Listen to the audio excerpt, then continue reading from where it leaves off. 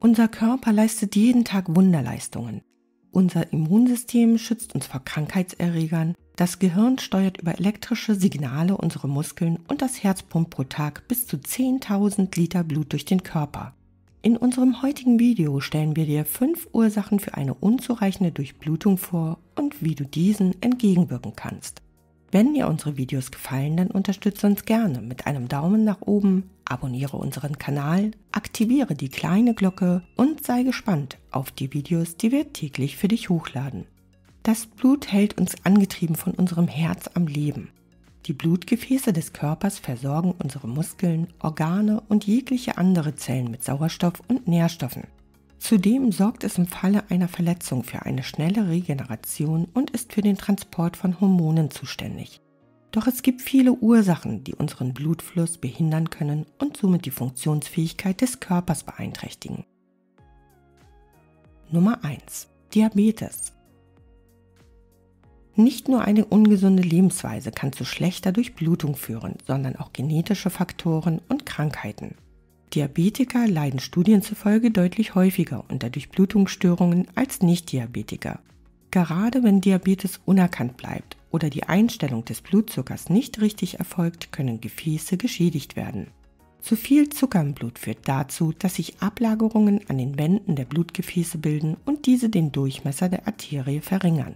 In Folge fließt weniger Blut durch diese Diabetiker sollten bereits frühzeitig auf durchblutungsfördernde Maßnahmen und Therapien zurückgreifen und viel Bewegung in ihren Alltag integrieren.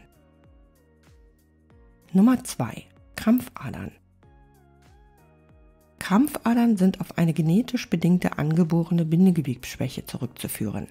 Krampfadern, die auch Varizen genannt werden, sind dabei nicht nur ein kosmetisches Problem, sie gehen oftmals auch mit Durchblutungsstörungen einher. Die Venen in den Beinen besitzen spezielle Venenklappen, die dafür sorgen, dass das Blut nur von unten nach oben fließen kann. Das Bindegewebe kann bei einer angeborenen Schwäche nicht genug Druck aufbauen. Dies resultiert in mehr Blut, das in den Beinen bleibt.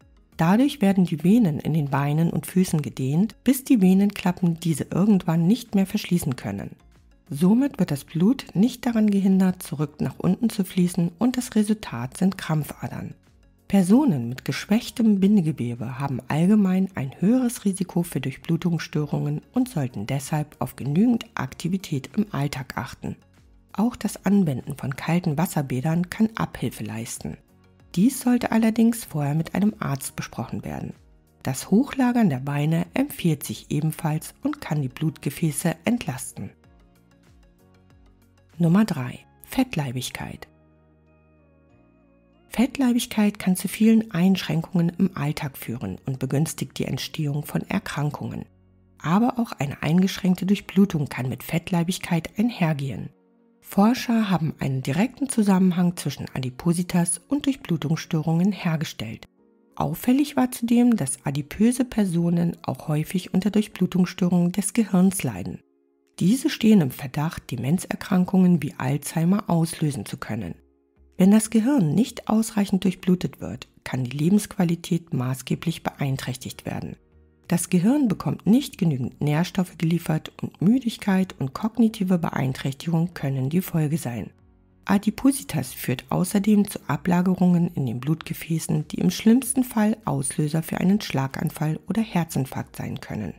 Adipositas ist sehr gefährlich und senkt die durchschnittliche Lebenserwartung von Männern um bis zu sechs Jahre und die von Frauen um bis zu sieben Jahre.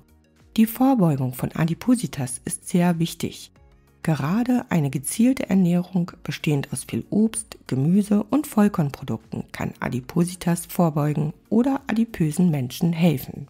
Zudem sollten fettige Lebensmittel gemieden werden und der Alkoholkonsum auf ein Minimum beschränkt werden. Das Trinken von genügend Wasser, mindestens zwei Liter pro Tag, hilft dabei, den Appetit zu regulieren und regt die Fettverbrennung an. Nummer 4. Thrombosen. Eine Thrombose ist eine gefährliche Gefäßerkrankung, bei der sich ein Blutgerinnsel in einem Blutgefäß bildet und dieses verschließt. Gerade in der Schwangerschaft oder bei langer Inaktivität wird die Entstehung von Thrombosen begünstigt. Thrombosen werden oftmals nicht erkannt und können zu Lungenembolien führen, die potenziell lebensgefährlich sein können. Meistens sind die tiefen Beinvenen von Thrombosen betroffen. Mögliche Symptome sind eine Schwellung des betroffenen Beines mit Spannungsgefühl, gerötete und eventuell bläulich verfärbte Haut sowie Überwärmung der betroffenen Stelle. Unerkannte Thrombosen schränken langfristig die Durchblutung des betroffenen Areals ein. Der Verdacht einer Thrombose sollte immer ernst genommen werden. Mit ausgewogener Ernährung, regelmäßigen Untersuchungen beim Arzt und ausreichend Bewegung kann die Entstehung eines Blutgerinnsels effektiv verhindert werden.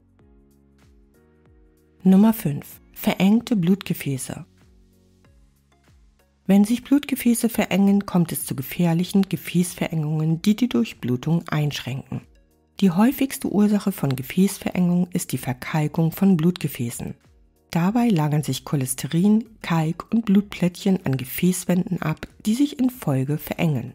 Blutgefäße verlieren mit der Zeit zudem an Elastizität, dies begünstigt die Verengung ebenfalls. Langanhaltende kalte Hände und Füße können ein Anzeichen einer Durchblutungsstörung, die durch eine Gefäßverengung ausgelöst wird, sein. Auch Taubheit und Gefühllosigkeit in Gliedmaßen sollten stets ernst genommen werden und von einem Mediziner abgeklärt werden. Verschiedene Krankheiten gehen mit einem hohen Risiko der Gefäßverengung einher, aber auch eine ungesunde Lebensweise begünstigt diese. Gerade das Rauchen, fettiges, cholesterinreiches Essen und wenig Bewegung sind weitere Risikofaktoren für die Entstehung und Verengung in den Blutgefäßen. Es scheint zudem, als gäbe es genetische Faktoren, die ebenfalls mit höherem Risiko der Arteriosklerose einhergehen. Die Forschung hat bis heute keinen Grund gefunden, weshalb junge Menschen mit einer aktiven Lebensweise an verengten Gefäßen leiden. Dies liegt nahe, dass bisher unbekannte genetische Faktoren einen Einfluss haben könnten. Unser heutiges Fazit. Eine dauerhafte Überlastung, zum Beispiel auf der Arbeit, Bewegungsarmut und chronischer Stress. All diese Faktoren begünstigen eine schlechte Durchblutung. Doch was kannst du tun, um die Durchblutung langfristig zu steigern? Das Thema Bewegung ist das A und O. Ausreichende Bewegung führt dazu, dass der Körper ausreichend durchblutet wird und stärkt die Blutgefäße. Gerade Ausdauersportarten wie Joggen, Radfahren oder Schwimmen eignen sich ideal, um den Kreislauf in Schwung zu bringen und Gefäße zu stärken. Auch bei normalen Alltagsabläufen sollte möglichst viel Bewegung integriert werden. Auf der Arbeit könnte man zum Beispiel mal die Treppen anstatt des Aufzugs verwenden aber auch die Ernährung beeinflusst unsere Durchblutung maßgeblich. Fetthaltiges, ungesundes Essen führt zu einer frühzeitigen Verkalkung der Blutgefäße. Ausgewogenes Essen mit einem hohen pflanzlichen Anteil hingegen kann Durchblutungsstörungen effektiv entgegenwirken. Der Gang in die Sauna oder ein kaltes Wasserbad eignen sich ebenfalls, um die Durchblutung anzukurbeln. Allerdings sollte stets Rücksprache mit einem Arzt gehalten werden. Es gibt vieles, was man tun kann, um einer schlechten Durchblutung vorzubeugen. Trotzdem gibt es Krankheiten und genetische Faktoren, die trotz einer aktiven und gesunden Lebensweise die Durchblutung beeinflussen können. Deshalb ist der regelmäßige Gang zum Arzt unerlässlich und Vorsorgeuntersuchungen sollten unbedingt wahrgenommen werden. Auf den eigenen Körper zu hören und mögliche Veränderungen frühzeitig abklären zu lassen, kann helfen, mögliche Erkrankungen der Blutgefäße frühzeitig zu erkennen und diese adäquat behandeln zu können. Das war's für heute. Vielen Dank fürs Zusehen.